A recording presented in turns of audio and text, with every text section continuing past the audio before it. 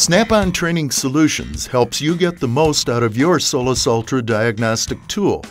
This training module covers the vehicle identification process and code operations. The first step in diagnosing any vehicle is to select the vehicle ID.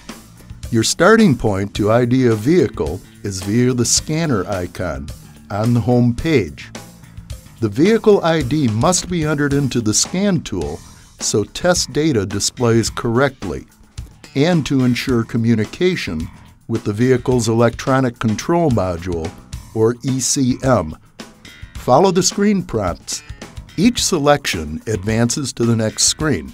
The exact sequence varies by the vehicle make, model, and year. Select the vehicle make from the menu. If necessary, use the scroll bar on the right to page down for more choices. In this case, we will select Chevrolet. Select the model year. Select the model and configuration. Some models have more than one configuration. For example, Avalanche four-wheel drive and Avalanche rear-wheel drive. Select engine size. You can select the engine displacement or use the vehicle identification number from the vehicle. The VIN position for the engine is shown at the top of the screen, and the choices are listed on the menu alongside the selections. If the vehicle ID is correct, select OK, or cancel to re-enter any information. Some vehicles send vehicle ID data through the OBD connector and can ID automatically. Let's save time and simplify the ID process by letting a 2009 BMW Auto ID itself. Select BMW from the Vehicle Selection page and select BMW US. Select the year 2009.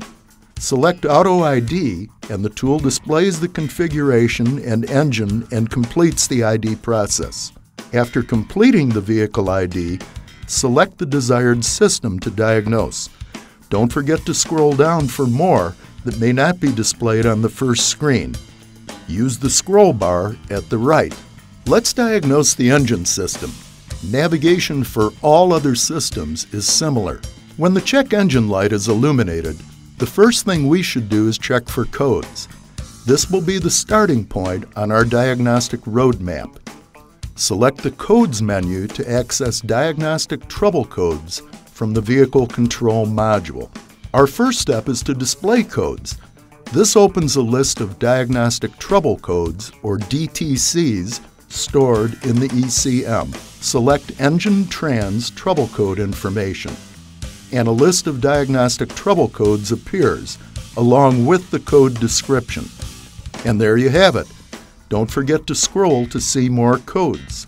The Clear Codes function erases the DTCs stored in the selected ECU. Follow the on-screen instructions. The tool prompts, Are you sure?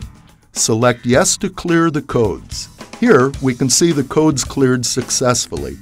If not, simply follow the on-screen instructions. Freeze frame displays the data and current conditions when the ECM commanded the malfunction indicator lamp to turn on. Here's our freeze frame data. This can be helpful to determine conditions when the code's set hot, cold, fast, slow. Great clues can be found here. Snap-on is dedicated to helping you get the most out of your diagnostic tool and keep your customers happy.